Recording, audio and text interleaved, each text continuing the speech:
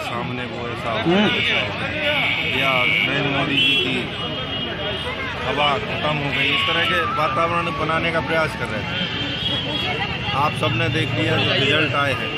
जैसा कि हमारे प्रदेश के नेतृत्व ने हमारे केंद्र के नेतृत्व में कहा था और ख़ास तौर पर हमारे नरोत्तम मिश्रा जी सौराष्ट्र क्षेत्र में गए थे और उन्होंने कहा था कि हम निश्चित रूप से बहुमत प्राप्त करेंगे और भारतीय जनता पार्टी की गुजरात में सरकार जिस कारण से हमारी खुशी दोहरी है कि हमारे जो नेता हैं, नरोत्तम मिश्रा जी, उनके जो सौराष्ट्र क्षेत्र में जीत हुई है, साथ ही साथ पूरे गुजरात में हम विधानसभा जीते हैं और हम बहुमत के साथ पार्टी हमारी फिर से सत्ता में आएगी।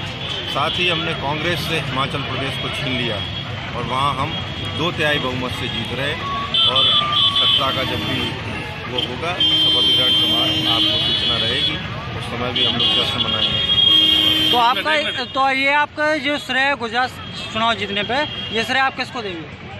देखिए निश्चित रूप से मोदी जी और हमारे जो अमित शाह जी की जोड़ी है उसने काम किया है लेकिन आप जानते हैं कि भारतीय जनता पार्टी कार्यकर्ता बेस पार्टी और कार्यकर्ताओं को श्रेय हम लोग देंगे क्योंकि हम स्वयं सब लोग कार्यकर्ता हैं और इसलिए जीत वहाँ हुई है लेकिन जश्न हम लोग बना रहे हैं।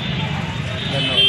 एक मिनट न केवल गुजरात और हिमाचल प्रदेश की जनता बल्कि सारे देश की जनता को यह विश्वास हो चुका है कि हमारा देश हमारा भारत देश माननीय नरेंद्र मोदी जी के नेतृत्व में परम वैभव के शिखर को छुएगा।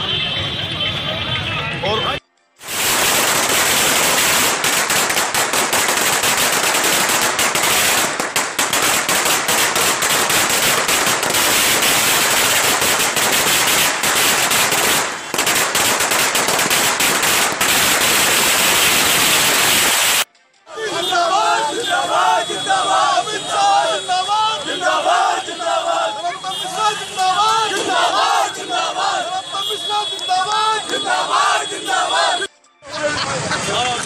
사랑합니다.